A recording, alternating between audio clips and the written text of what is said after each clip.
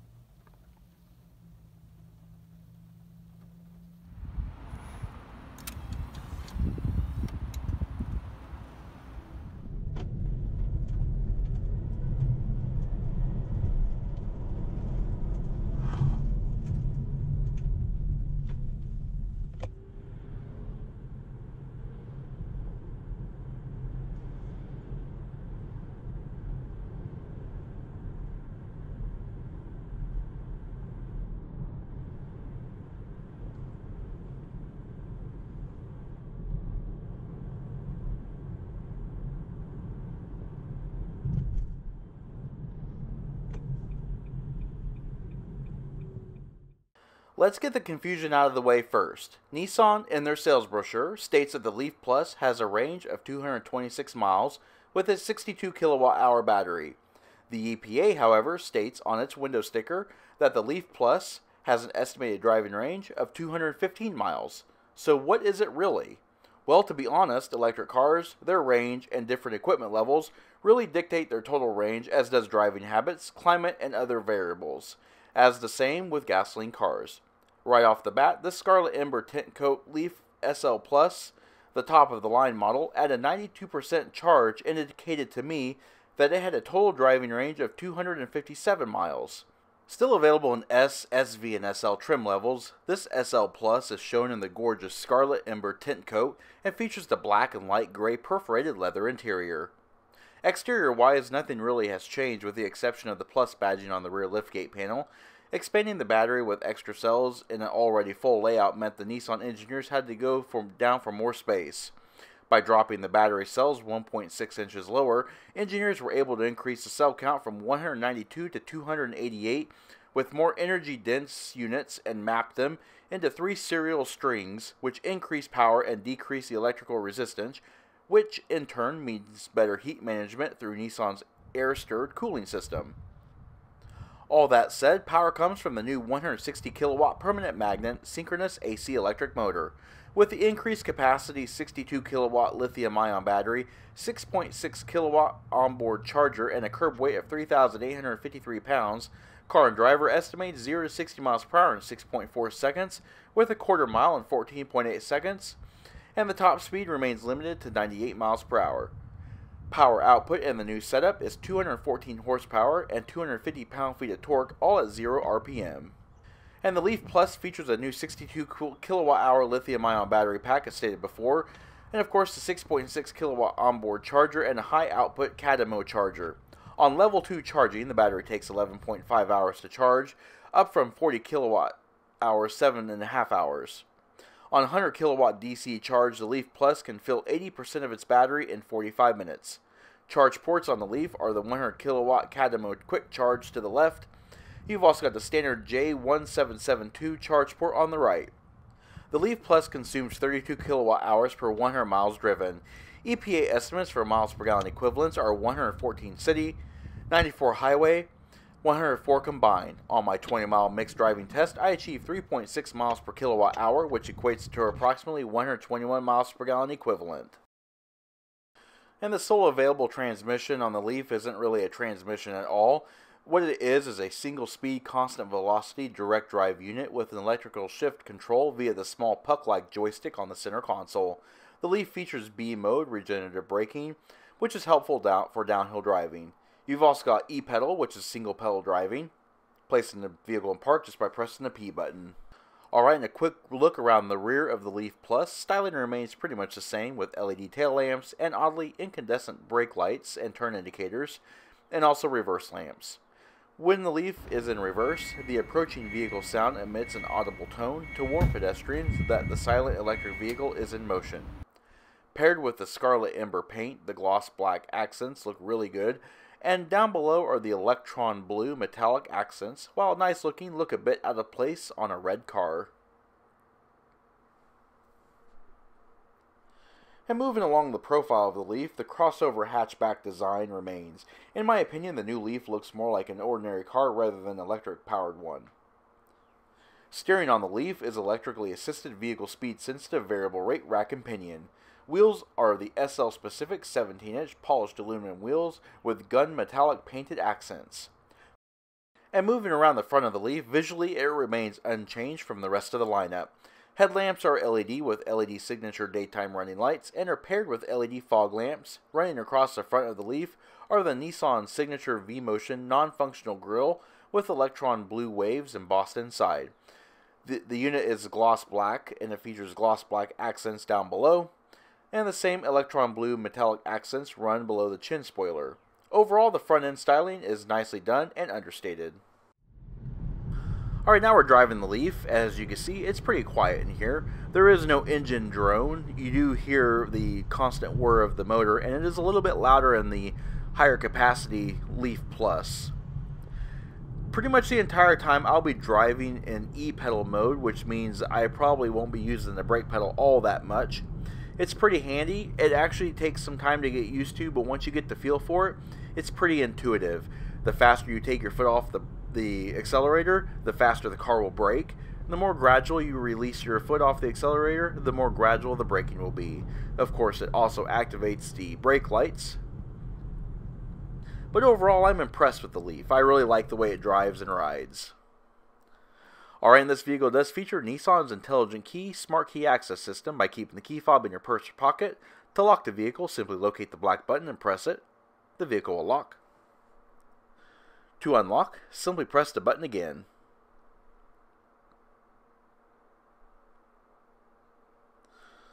Alright, let's take a look at the interior. It's pretty nice in here. Pretty typical of Nissan with the light gray perforated seats. It does have suede accents. Two-tone door card treatments with soft touch vinyl trim, accent stitching, chrome door pulls, piano gloss black trim, You've also got power adjustable mirrors, power windows, and power door locks, all standard. Door pockets with molded bottle holders. The Bose Energy Saver sound system. 8-way power driver seat with adjustable lumbar support. The seats in the Leaf are actually very comfortable and very supportive. Driver controls for your charge port door, your charge timer, heated steering wheel. You've also got your instrument panel brightness,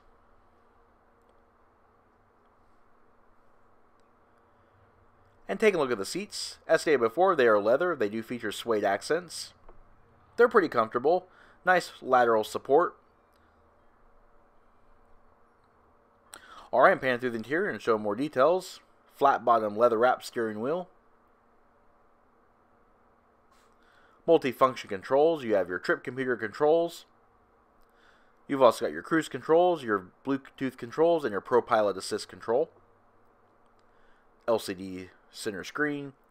It does feature trip computer as well as electric vehicle information, charge times, just a plethora of information in the uh, advanced drive assist display. The graphics are crisp and clear and easy to read at any date and any kind of brightness. Alright, moving over the top of the dash. It's pretty plain. It's a flat black plastic, so glare is pretty much non-existent. You have a nice touchscreen display.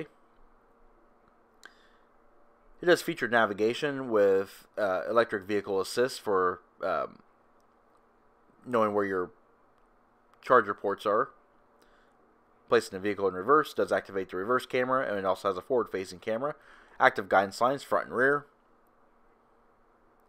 It also has a top-down 360 degree around view camera.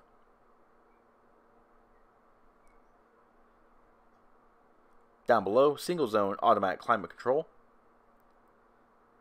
Start stop switch, USB power point, as well as auxiliary input jack. Two stage heated front seats, 12 volt power point, small storage pocket, gloss black piano trim on the center console. You do have your electric parking brake, dual front cup holders, padded armrest with a small amount of storage inside.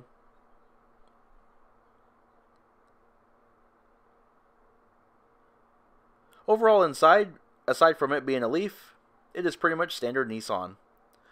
Automatic dimming rearview mirror with 3-channel HomeLink universal garage door opener. You have overhead LED reading lights, as well as dome lights, sunglasses holder, SOS controller, illuminated vanity mirrors. They slide out on extensions. And you've also got overhead dampened assist handles. Alright, accelerating onto the interstate. As you can see, it accelerates pretty quickly for an electric car. I'm not really putting my foot all into it because there's actually cars in front of me, so I'm having, I'm having to yield a bit. But getting up to 60 is actually pretty pretty good. Getting on the interstate, the Leaf really feels at home. You don't feel like you're in an electric car at this point. You actually just feel like you're in a gasoline-powered car. It is a lot quieter, although you do hear the electric motor whine. Although Nissan has insulated it pretty well. Overall, the ride is very smooth and very quiet. Seems pretty refined. The steering is very responsive. It tightens up at higher speeds. Of course, you do have Pro Pilot Assist, which does feature adaptive cruise control. You also have Lane Keep Assist. You've also got partial uh, lane centering, so you can allow the car to steer a little bit itself, but not it's not full autonomy. Alright, checking out the rear seat. The rear seat in the Leaf is actually pretty roomy. Enormous amount of headroom due to the design of the car. The rear seat does seat three across. It is a 60-40 split folding seat. The outboard seats have high adjustable head restraints, as well as dampened overhead assist handles. There is no center fold-down armrest, however. The only cup holders to speak of are molded into the door pockets. Folding the seat is easy by lifting up the plunger and folding the seat forward. It does lie flat, but not flat with the cargo area.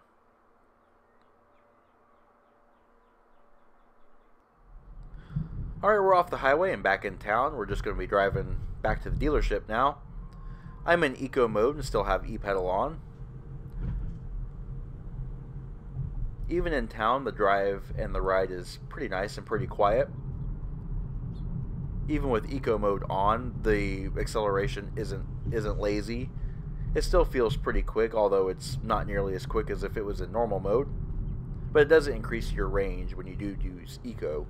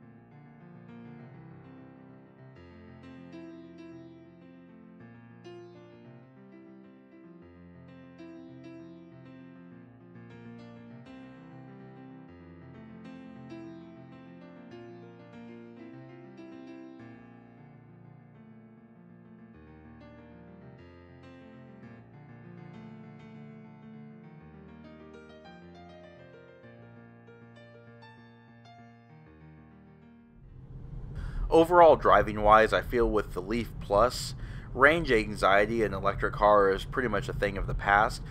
257 miles is what this Leaf said to me. Although right now we're sitting at about 208 miles, which is still pretty good for an electric car. Alright, let's take a look at the luggage area. As expected with a vehicle of this design, the cargo capacity is pretty nice. The luggage area is smartly designed, however we do have the Bose amplifier and subwoofer back here, so it does impede a little bit. It is a nice load flat floor with wheel, some wheelhouse intrusion. Overall cargo capacity is 23.6 cubic feet. Folding the seats is easy from even the rear of the car just by lifting up on those said plungers and pushing the seat backs forward. With the rear seats folded, your cargo capacity increases to 30 cubic feet. While they don't lie flat with the cargo area, it is still nice to know that you have extended cargo area. Various equipment that comes with the vehicle. You have your emergency roadside kit, your cargo mat floor mat, interior floor mats, and your first aid kit.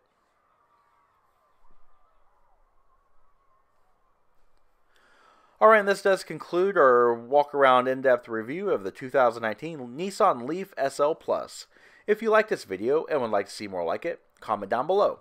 Also, don't forget to hit the like button and subscribe, and check out our Facebook page at facebook.com slash neighborhood car reviews. And as always, thanks for watching.